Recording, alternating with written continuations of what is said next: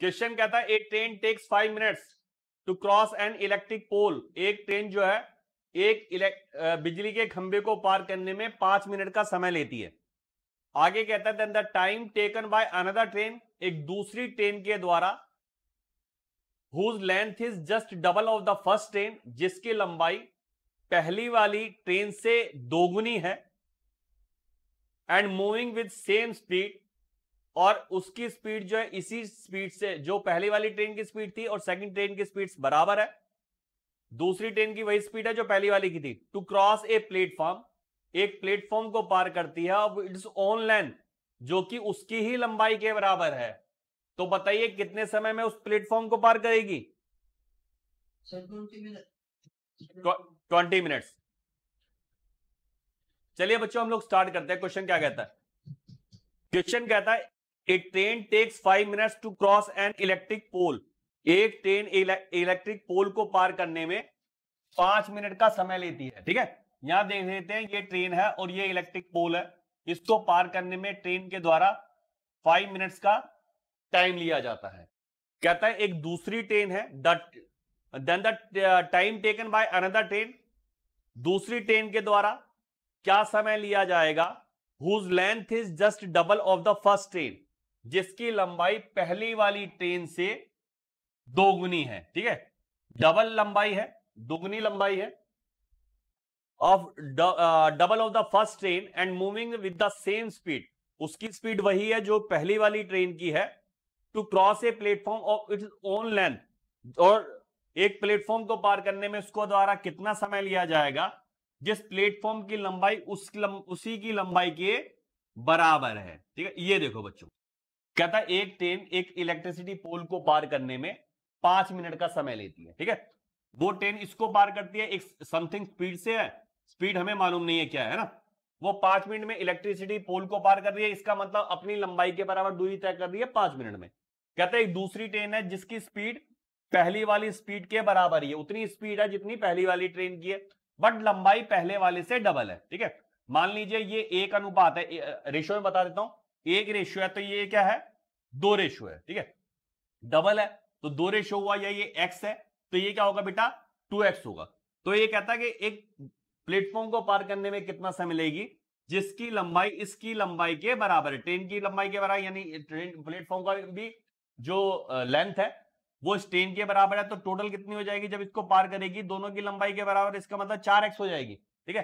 तो एक x cover करने में ट्रेन के द्वारा फाइव मिनट्स का समय लेता है क्योंकि इसकी स्पीड समान है तो इसका मतलब एक एक्स दूरी तय करने में पाँच मिनट का समय लिया है तो चार एक्स दूरी तय करने में कितना समय लेगा पाँच से मल्टीप्लाई पाँच चौक बीस। तो twenty minute will be our answer simple question है। पहली बार पढ़ रहे हैं आप लोग तो लेंथ ही लग रहा है। सेकंड टाइम जब इस क्वेश्चन को करेंगे तो इजी लगेगा। ठीक है? समझ ले जरा क्वेश्चन को।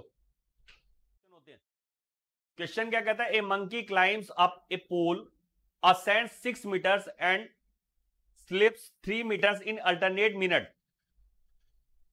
कहता है, एक जो मंदिर है, किसी पोल पर छह मिनट, छह मीटर चढ़ता है, पहले मिनट, और अगले ही मिनट तीन मीटर नीचे खिसक जाता है। अल्टरनेट में कहता है ना कि पहले मिनट तो चढ़ेगा, दूसरे मिनट नीचे खिसक जाएगा, ठीक है? तो पहले मिनट छह मीटर चढ़ता है, दूसरे मिनट तीन मीटर नीचे खिसक जाता है। If the pole is sixty meter high अगर पोल जो है, साठ मीटर ऊँचा है तो बताइए how long will it take to the monkey the monkey to take reach the top तो टॉप तक पहुँचने में उस बंदर को कुल कितना समय लगेगा? बताएँ जरा। थर्टी थर्टी वन बता रहे हैं भाई।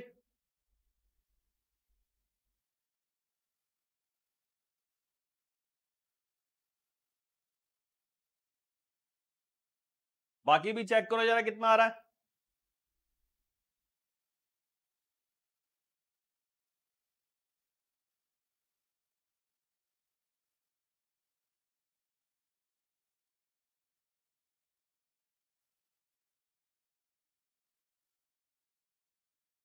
चलिए हम लोग स्टार्ट करते हैं। क्वेश्चन में क्या कहता है? कहता है एक पोल है। जिसकी ऊंचाई 60 मीटर है। 60 मीटर ऊँचा एक पोल है। कहता है, एक बंदर पहले मिनट 6 मीटर पोल पर चढ़ता है और अगले ही मिनट तीन मीटर नीचे खिसक जाता है। अगले ही मिनट तीन मीटर नीचे खिसक जाता है। आपसे पूछा जाता है कि टॉप तक पहुँचने में बंदर को कुल कितना समय लगेगा? अब दो, देखो बच्चों, इसको क्वेश्चन को कर लेते हैं।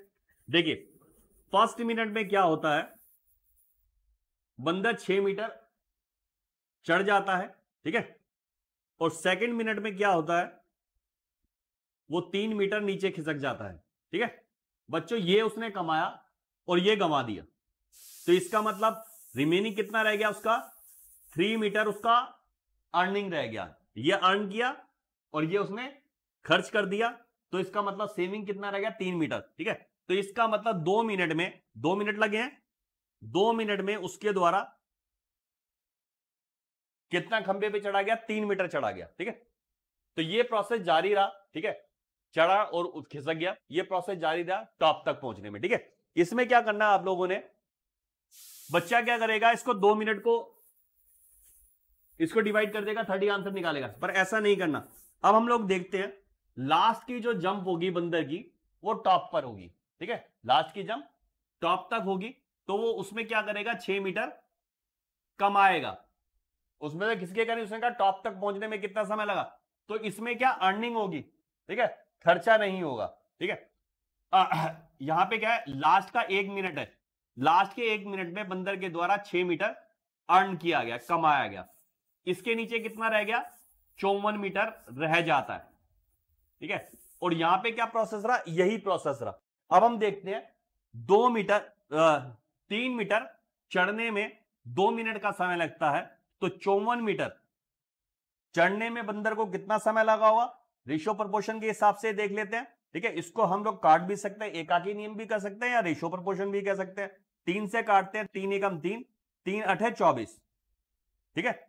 तीन एकम तीन और तीन अठे चौबीस। अट्ठारह आता है। ये अट्ठारह गुना तो बेटा ये भी अट्ठारह गुना होगा। अट्ठारह दुनी छत्तीस।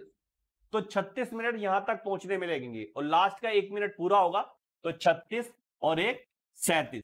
सैतीस minute will be your answer यह हम लोग एकाकी नियम से देख लेते हैं कि तीन मीटर चढ़ने में बंदर को कितना समय लगता है?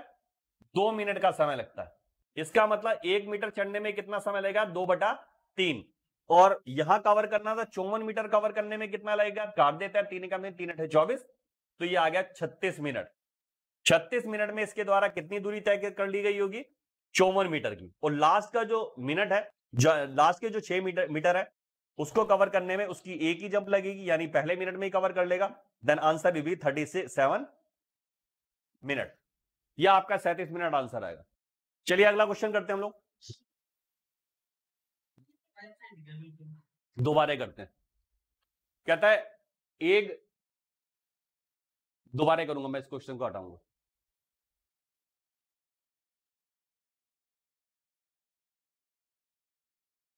क्वेश्चन बना लेते हैं। कहता है, एक पोल की ऊंचाई 50 मीटर है। एक पोल की ऊंचाई 50 मीटर है।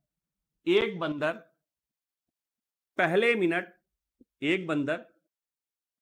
पहले मिनट। छ मीटर चढ़ता है। पहले मिनट छ मीटर चढ़ता है। और अगले मिनट, सेकंड मिनट में, चार मीटर नीचे खिसक जाता है। चार मीटर नीचे नीचे खिसक जाता है। तो खंबे के शीर्ष तक पहुँचने में बंदर को कुल कितना समय लगा?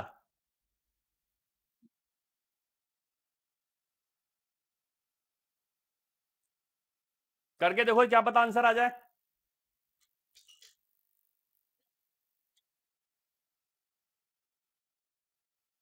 फोर्टी फाइव मुझे तो सही लग रहा। चलो बच्चों, हम लोग स्टार्ट करते हैं। देखो ये ध्यान रखना, जो लास्ट की जंप होती है ना, वो टॉप तक पहुँचने की बात कर रहा है, ठीक है? तो टॉप तक पहुँचने के बाद अगर मैं यहाँ पे टॉप तक, मैं, यानी कोई भी होगा, वो यहाँ तक टॉप तक पहुँचा, उसके बाद खिसक जाता उससे मतलब नहीं है, ठीक है? इसको छूना मेन मतलब है, ठीक है? जैसे आप कबड्डी में करते हैं, उस लाइन को टच करने वाली बात है, उसके बाद खींच लेते हैं, उसकी बात अलग, है ना? यहाँ देखो, ये जो लास्ट की जंप है, ये टॉप तक होगी उसकी, और ये कितना मीटर कवर करेगी? छह मीटर और इसमें समय कितना लगेगा? एक मिनट का समय लगा हुआ उसे। ठीक है? उसके बाद खिसक गया, उससे मतलब नहीं है। रिमेनिंग कितना रह जाता बच्चों? पचास में से छह मीटर उसने लास्ट वाली जंप में कवर किया, इसका मतलब इससे पहले चवालीस मीटर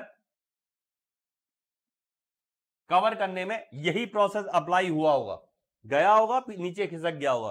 पहले मिनट उसने छह मीटर कमाए और अगले मिनट चार मीटर गंवा दिए, इसका मतलब उसकी अर्निंग क्या रही? दो मीटर रही। कितने समय में? दो मिनट में। पहला मिनट, दूसरा मिनट। तो टू मिनट्स में उसके द्वारा दो मीटर कवर किया गया। यानी हर मिनट एक मीटर आएगा ना। प्रत्येक मिनट, एक मिनट में एक मीटर की वैल्यू लगाई जाएगी। तो चौवालीस मीटर कवर करने में कितना? चौवालीस मिनट लगे होंगे उसे। ठीक है? चौवालीस मिनट में चालीस मिनट लगे और एक लास्ट का हो गया। तो पैंतालीस minute will be your answer ऐसे करेंगे। अनुराग ने सही बताया आंसर। चलिए अगला क्वेश्चन देखते हैं। क्वेश्चन क्या कहता है? Two cyclist do the same journey by travelling respectively at the rate of nine and ten kilometer an hour दो साइक्लिस्ट हैं, जिनकी स्पीड है नाइन किलोमीटर पर आवर और टेन किलोमीटर पर आवर आगे कहता है find the distance travelled one takes thirty two minutes longer than the other तो बताइए डिस्टेंस कितना है? यदि एक दूसरे की तुलना में 32 मिनट का समय ज़्यादा लेता है। रेशो प्रपोर्शन में ऐसे क्वेश्चन रहते हैं बेटा। देखो, जैसे मैं यहाँ पे बताता हूँ आपको। इस पे नहीं जाऊँगा, अभी पहले एक छोटी सी चीज़ बताऊँगा। जैसे कहता है, एक कार की स्पीड 40 किलोमीटर पर आवर है और एक ट्रक की स्पीड 60 किलोमीटर पर आवर है। तो बताइए, इनके द्वारा जो समय लिया जाएगा, उसका रेशो क्या आएगा? तो बेटा, इसमें क्या करते हैं, ये क्या बताई जा रही है, इसकी स्पीड बताई जा रही है। ठीक है? अगर स्पीड का रेशियो देखते हैं आप, बेटा तो क्या होगा ज़ीरो से ज़ीरो काट दिया, ठीक है? दो दूनी चार, दो तिया छह। ये क्या है बच्चों स्पीड का रेशियो है। और जब टाइम की बात की जाएगी कि टाइम का रेशियो क्या है तो इसको पलटी मार देना। थ्री इस टू टू आता है। क्या आता है? थ्री इस टू टू समझ रहे बात? अब देखो, ये निकाला और इसके बाद पलटी मार दी। अगर मैं इसको आपको कहते हैं, भाई, सिद्ध करो, जैसे समझाइए कैसे किया। अब मैं क्या करता हूँ, इसका एल्सियम लेता हूँ, ठीक है? एल्सियम क्या आता है? 40 और 60 का 120 एल्सियम आता है बेटा। ये देखो 120 किलोमीटर की जर्नी है, ठीक है? जब कार इसको तय करती है 40 किलोमीटर पर आवर की गति से तो 120 किलोमीटर कवर करने में कितना समय लेगी?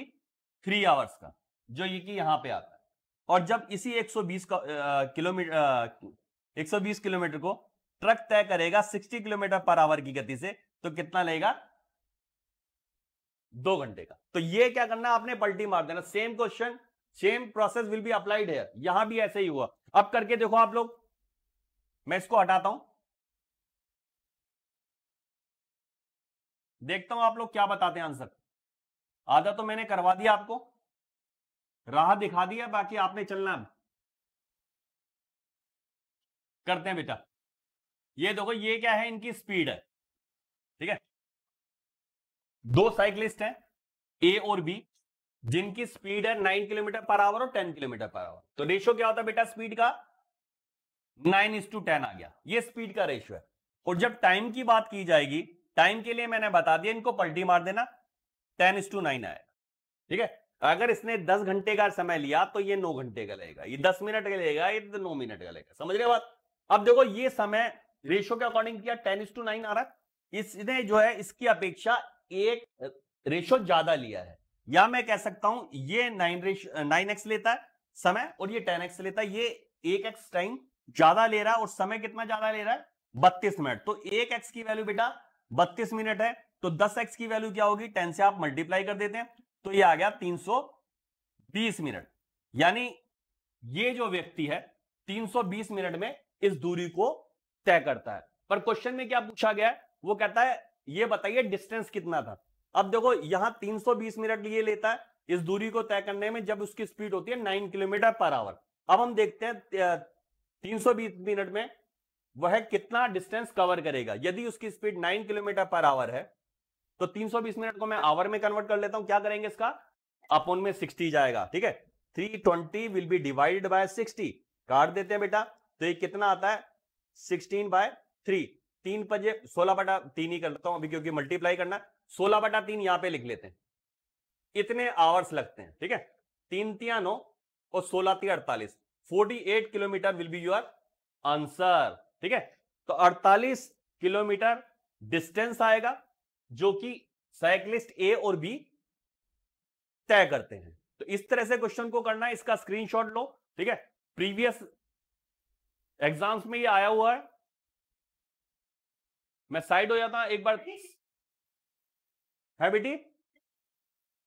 क्यों हम, क्योंकि देखो देखो, ये स्पीड का था, मैंने इसको टाइम के रेशियो में कन्वर्ट किया, ये दस एक्स लेगा तो ये नाइन एक्स लेगा। ये जो है इसकी तुलना में एक एक्स ज़्यादा ले रहा है ठीक है? और क्वेश्चन में कहता है बत्तीस मिनट ज़्यादा लेता है तो एक एक्स की वैल्यू दस बत्तीस है तो दस एक्स की वैल्यू क्या होगी? ये आ जाएगा ठीक है? तो इत, इतने घंटे में वो दूरी तय करता सोलह बटा तीन घंटे में तो एक घंटे में नौ किलोमीटर स्पीड से आता सोलह बटा तीन घंटे में कितना होगा? अड़तालीस। अब बेटा जैसे अभी आपने कहा इससे मल्टीप्लाई क्यों किया? अभी मैं इसको अगर यहाँ से करना चाहूँगा तो यहाँ से भी हो जाएगा। आप नौ से मल्टीप्लाई कर देना और दस से मल्टीप्लाई करना। उस कंडीशन में भी हो जाएगा। ठीक है?